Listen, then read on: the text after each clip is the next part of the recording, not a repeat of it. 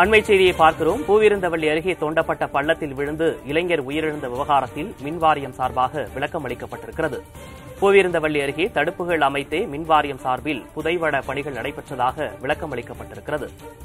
பள்ளம் தோண்டி பணிகள் நடைபெறுவதாக விளம்பர பலகை வைக்கப்பட்டிருந்ததாகவும் மின்வாரியம் சார்பாக விளக்கம் அளிக்கப்பட்டிருக்கிறது.